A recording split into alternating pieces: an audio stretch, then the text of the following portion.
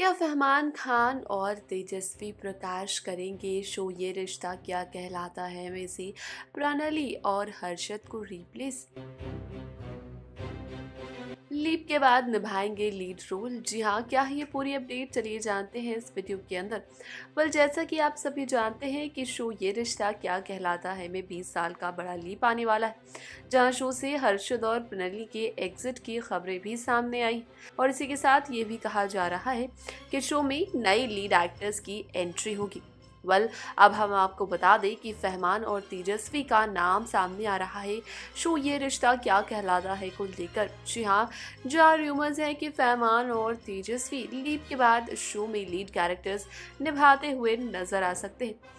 लेकिन हम आपको बता दें कि अब एक क्लोज सोर्स ने यह खुलासा किया है।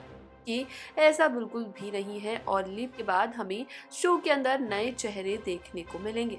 जी हाँ सोर्स का कहना है, Rajan Shah is known for giving opportunities to fresh faces like Hina Khan Shivangi Joshi and Pranali Rathod he must have chalked out a proper plan for Yeh Rishta Kya Kehlata Hai if it's taking a leap while the production house would love to work with Tejasswi and Fahmaan I think new faces will be audition for the roles and there is no doubt that Fahmaan Khan and Tejasswi Prakash are wonderful actors who bring their own fan following but I think the chances of them featuring in Yeh Rishta Kya कहलाता है यार leak well इस पूरी update को लेकर आपकी क्या राय है? हमें कॉमेंट सेक्शन में ज़रूर बताएँ।